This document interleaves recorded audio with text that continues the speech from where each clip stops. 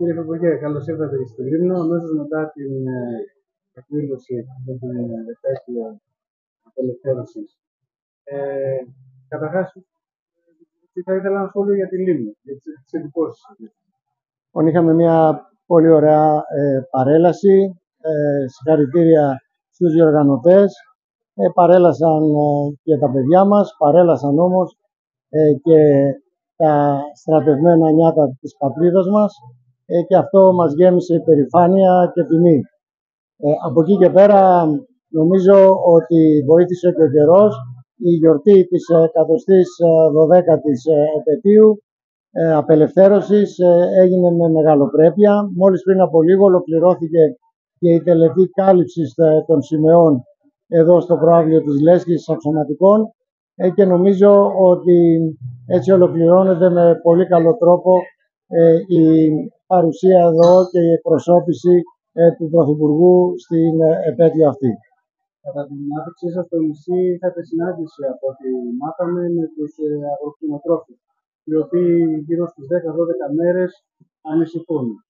Ναι, ε, καταρχάς, ναι, καταρχάς δεν είχα συνάντηση, θεώρησα σκόπιμο να σταματήσω στο μπλόκο, να μιλήσω μαζί τους ε, είχα προηγουμένως επικοινωνήσει με τον αρμόδιο υπουργό, τον Κώστα Ποζιάρα, με τον ε, βουλευτή του νομού, ε, τον κύριο Αθανασίου.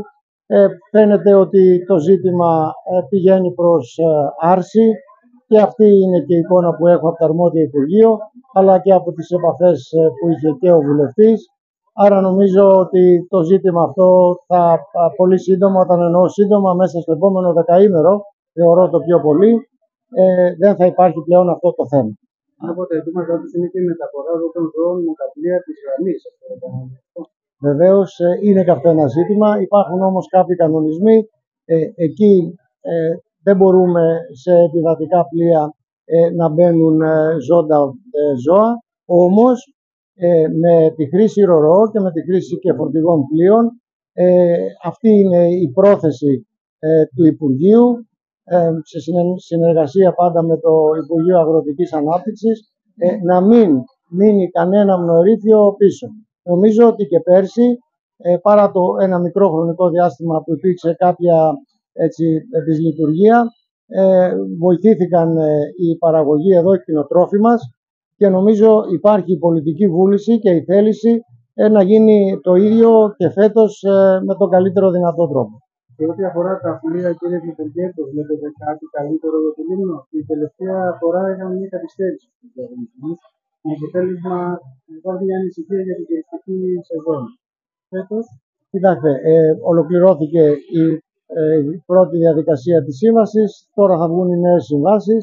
Να πω μόνο ότι ε, τα, οι άγονες γραμμές το 2019 ανήρχονται σε περίπου 90 εκατομμύρια ευρώ το 2024 ξεπέρασαν τα 150 εκατομμύρια ευρώ.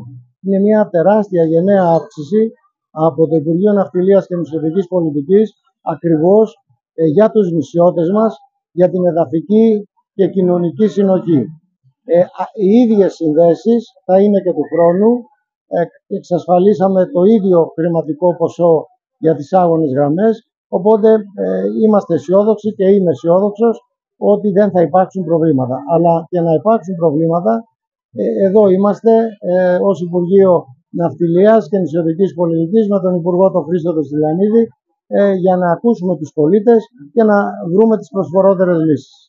Και ένα άλλο ζητούμενο είναι το μεταφορικό ισοδύναμο, το οποίο καθυστερεί να κατασταθεί ναι. επιχειρήσεις και ε, και στους πολίτες ό,τι αφορά τα εισιτήρια, τα καύσιμα που επιδοτούν. Ναι, να σου πω ότι πριν από λίγο πληρώσαμε τα καύσιμα ε, για το 23, δηλαδή ε, ψοφλήσαμε, να το πω έτσι, ε, τα, τα καύσιμα, το μεταφορικό ισοδύναμο καυσίμων. Ε, από εκεί και πέρα, πολύ σύντομα, όταν εννοώ πολύ σύντομα, εννοώ μέσα στην επόμενη εβδομάδα ε, θα βγουν ε, οι αποφάσεις, θα υπογραφούν οι αποφάσεις για να πληρώσουμε τις επιχειρήσεις το 22 ε, και τους επιβάτες ε, ένα μέρος ε, ακόμα μερικούς μήνες από το 23. Να σου πω ότι δεν είναι μια εύκολη διαδικασία αυτή. Το μεταφορικό ισοδύναμο καθυστέρησε τις επιχειρήσεις διότι έγιναν έκτακτοι έλεγχοι και ευρέθησαν κακό κείμενα, οπότε μέχρι να ολοκληρωθούν οι εντελεχείς έλεγχοι από την ΕΦΕΠΑΕ καθυστερεί ε, να πληρωθούν ε, οι επιχειρήσεις. Όμως, όπως σας είπα, ε, το, το αμέσως προσεχές διάστημα οι επιχειρήσεις μέχρι 2.000 ευρώ θα πληρωθούν για το 2022.